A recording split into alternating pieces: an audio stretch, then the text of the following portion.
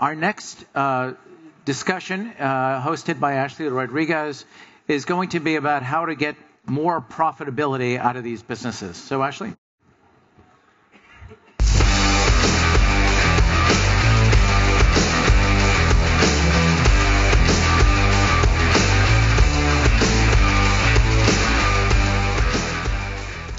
Thanks, Rob. Um, joining me on stage is Martin Collins from Soft2Bet. Uh, Soft2Bet, if you're not familiar, is a major platform provider for the casino and the sports betting industries um, globally, and they're just getting started here in the U.S. So excited to um, dig into that with Martin. Um, so, Martin, here in the U.S., Online gambling is regulation has slowed, I think, more than some people had hoped. We're only in about six U.S. states right now. The market's really crowded. There's a lot of um, a lot of companies spending, um, some bowing out, right? Because this marketplace is really competitive. You're jumping into North America now. Why? So first of all, thanks for having me, and thanks for coming to listen, guys. Hopefully, I can give some some value um, and help you understand how we believe we can shift the dial within the US market. So, so you're absolutely right. I mean, just this morning we heard the news from 888 um, that they're pulling out of the, the US ultimately with their strategic review. So there's, there's no doubt that it's a tough market. There's no question. However, um, if we look at the key issues that exist in the market at the moment, I think you can broadly say there's probably two. Okay, one, the velocity of casino in terms of regulation. iCasino went to there's only six, as you rightly pointed out, whereas there's 38 with sports. Um, and then secondly, the, the engagement aspect. So the majority of states are dominated by two or maybe three brands. And if you look at the spend within their quarterly reports, you can see that they're spending a lot. The CPAs are high, and bonusing costs and promotional costs are really high. And we believe that that actually presents an opportunity rather than a restriction for the simple reason that if you can engage with the customer and you look at the customer a little bit differently from how we have traditionally as an industry, then there's an actual opportunity there in order to take some market share ultimately. Well, so how do you do that without, uh, you know, these big, these big companies, right? Uh, DraftKings, FanDuel, these companies at the, the top of the marketplace right now, they've proven they've been willing to spend to, to maintain their lead. How, how does somebody come into this market and compete without um, overspending, without trying to outspend them? Okay, well, it's, it's not just about competing, it's about being solution driven as well. So, yes, we will run with our own BTC, B2C brand and we're going to launch that into um, New Jersey, hopefully in about 12 months' time. We're just going through the process at the moment. But what that does by having B2C, now normally if we have any operators here and they were uh, speaking to somebody like me on the platform side, they would say there's no way that I'm going to compete with my platform provider, okay, or with a solution provider. That absolutely that, that would tend to be the, the message that would be given, Ashley. But we actually believe that by being B2C, it gives us a massive advantage. So let, let me give you an example. If I, was, if I was to ask any of the operators here who utilize a third-party platform, what would your biggest concerns be? What, would, what, what issues would you be experiencing? Number one, okay, that your platform doesn't look at things from a B2C perspective.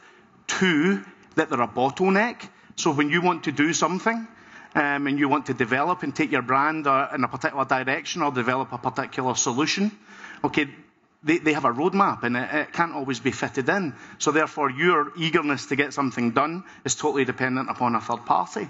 So all of these aspects um, are, are, issues with it simply being B2B. Now, what I'm saying is, is that by having a proof of concept, by localizing, by understanding the landscape within the market, we can actually help our partners uh, get to success much faster.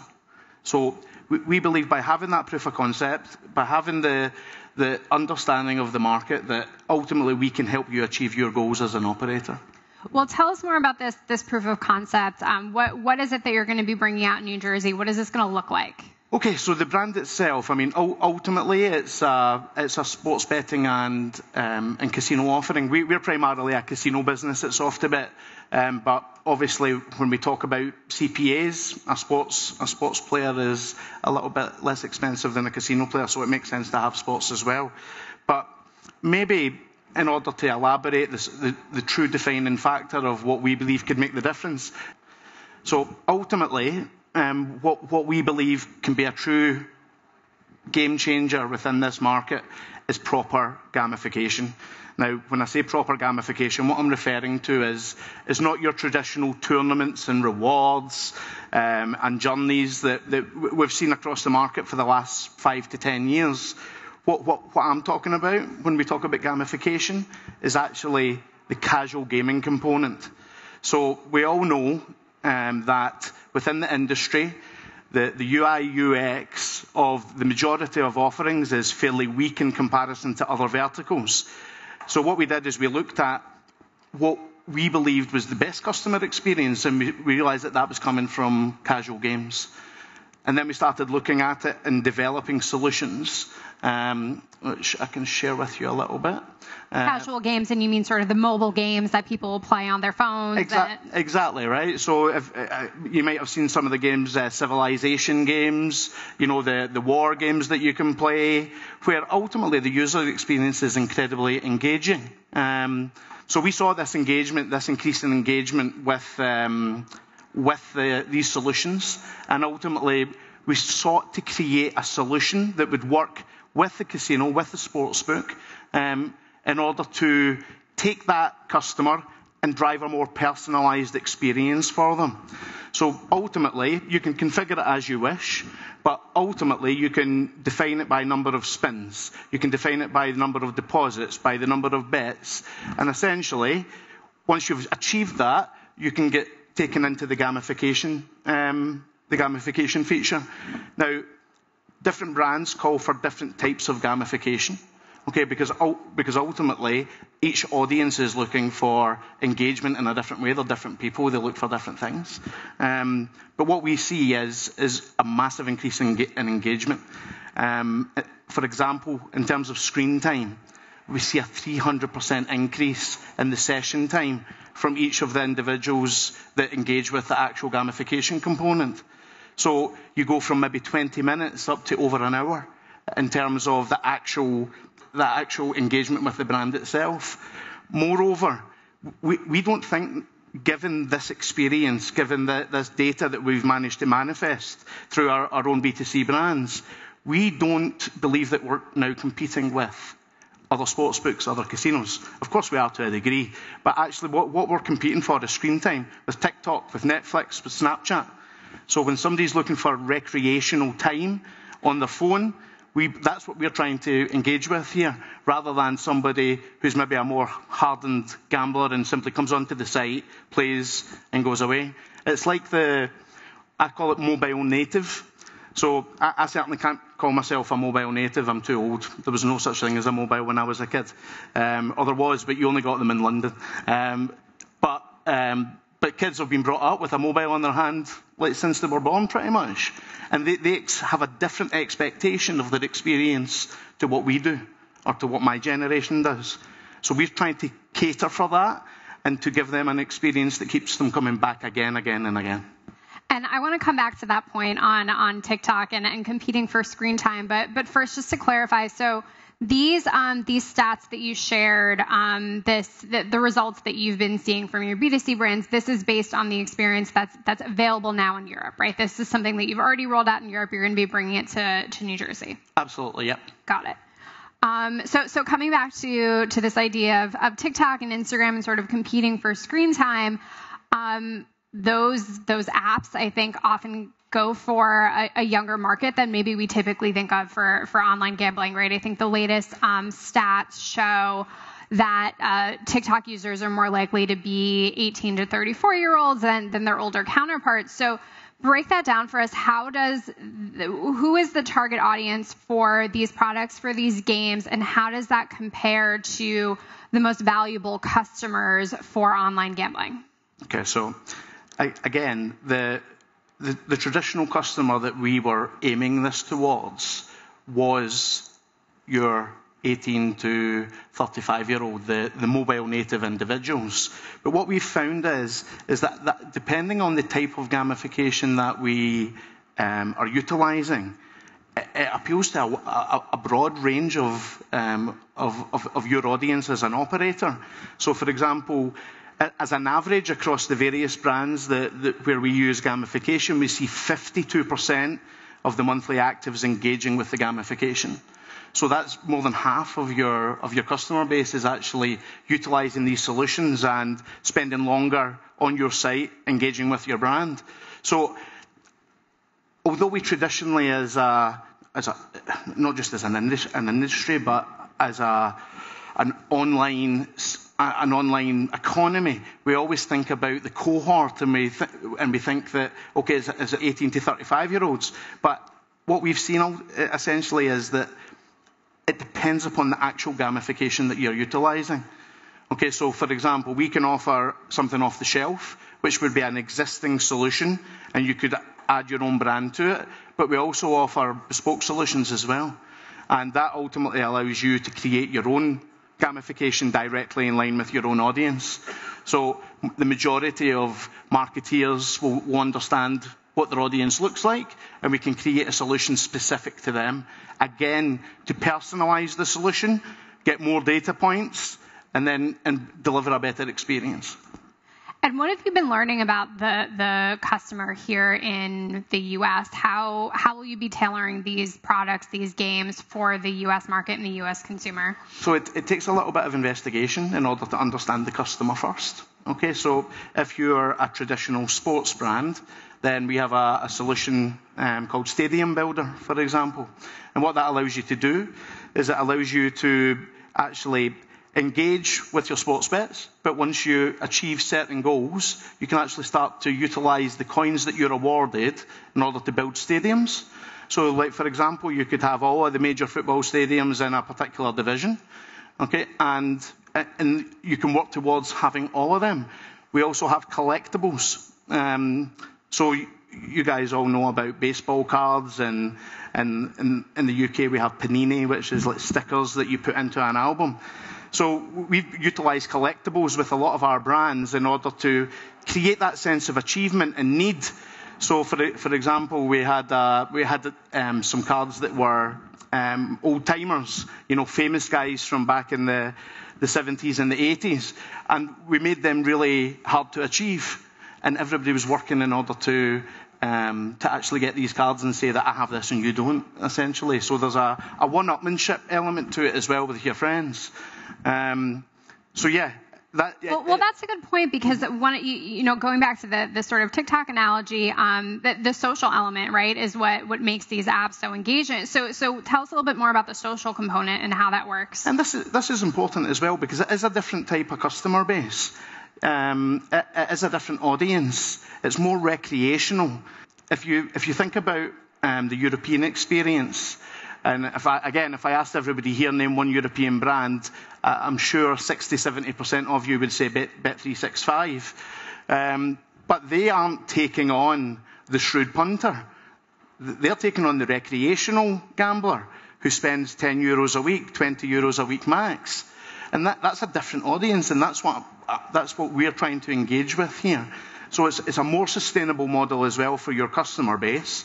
And ultimately, by engaging them with these solutions, you can massively reduce your promotional and your bonus cost because you don't need to engage with them in, in that capacity. It's no longer a race to the bottom. It's, it's, something that actually drives your brand equity and will keep, keep people coming back again, again, and again. And Martin, something that, that you and I have talked about is that here in, in the US market, really the, the operator focus has so far really been on acquisition, acquisition, acquisition. How are you starting to see um, that conversation changed? Um, how do you, where does engagement, what we've been talking about here, where does that sort of fit into the priority set for operators right now? So that, that's a really interesting question. Now, I don't know if anybody here uh, read the DraftKings report um, from 2023. But for the first time, Jason Robins quoted acquisition is an important factor, of course, right? But he also mentioned engagement and loyalty, and that's the first time that's ever been mentioned. So they're making acquisitions like Jackpocket, and that's a different audience again. Okay, going back to the original point when we're talking about different audiences and how you engage with them. But essentially, if you can't keep your customers, then again, it's a, it's a race to the bottom, actually. If you need to be able to maximize your ROI. The US market, in comparison to any other market, is, has high barriers to entry, especially from a commercial perspective. So you have the license, you have the market access, you have all the third parties. You don't tend to get geolocation in other um, jurisdictions either. So there's a massive cost that is associated with entry into this market. And if you're not maximizing the opportunity with your customers, once you get them engaged and signed into your site, then it, essentially you're burning money. And this is what we're trying to do here. We're trying to make sure that um, people are, are getting the most from their buck. So it's essentially trying to build experiences. Uh, or I should ask, are all these are all these free to play? These games? Yeah, absolutely, absolutely. Okay, so essentially the idea is to sort of recreate the experience that you would find in mobile free free mobile games, and then try to use that to keep people within the ecosystem and keep people coming back and hopefully that leads to them spending more money and, and gambling more. Absolutely, and this is, this is the thing. You're not tied down to one particular experience, one particular type of gamification. You can see some of the examples of some of the projects that we're working on at the moment. So you can see the, the, the war game where you're actually collecting characters in order to fight against your friends. Um, you saw the, the Coin Master, um, which I'm sure everybody's aware of. So you can actually steal coins from your friends um, and then the Monopoly game at the end. I mean, this is, this is different types of gamification, again, for different audiences. So is ultimately to bring them back again and again. And, and they need to be, feel as if they're being listened to, your customers. That's what we've realised. And I, I, was just speaking to somebody before in, uh, uh, backstage, and they asked me, they said, is this just a, is it just a fad? Is it just something that's like being brought to the market and, and ultimately you're going to sell it. But I, I was quite skeptical. Okay, but when you see the numbers and how it engages with the, the, the end user, it's incredible. It's, it's an unbelievable game changer. Unbelievable. And Martin, uh, we've got just a minute left, so I mm-hmm. want to end on more of a big picture note. I'd love to know, um, you know, you, you know the international marketplace. You're, you're learning more about the U.S. market every day. Uh, give us one of your predictions for the coming year. Ah, okay. So um, I've been saying this for about two years, so I'm not sure if, it, if it's a prediction anymore, but I'm, I'm going to go with it anyway. But, but, but I genuinely, and the, after this morning's news, people might find this quite funny, but I genuinely believe there's going to be a second wave within the States. I think it, uh, it will be closely tied to the acceleration of iCasino and the, the velocity that that moves with. But essentially, I, I see organizations hovering, um, waiting in order to, to strike at the right moment and come into this market and take away the, the duopoly, if you like, um, and actually start having a, a, more competitive landscape in marketplace. Do you think we'll see that that um, that wave start to to come 2024? Mm, I think, I think we'll start talking about it more. I think it will be more obvious. I think as, a, as an industry, we need to lobby better within the states and rather, rather than doing it in isolation, work together um, in order to get achieve the goals that, that we want to achieve, particularly around the acceleration of iCasino. Um, but yeah, I think that, that that will become more obvious um, as the discussion opens up and becomes more prevalent with everybody being involved rather than just the the, the primary actors in the market at the moment. Well, thank you so much, Martin. Appreciate it. Okay, thank you.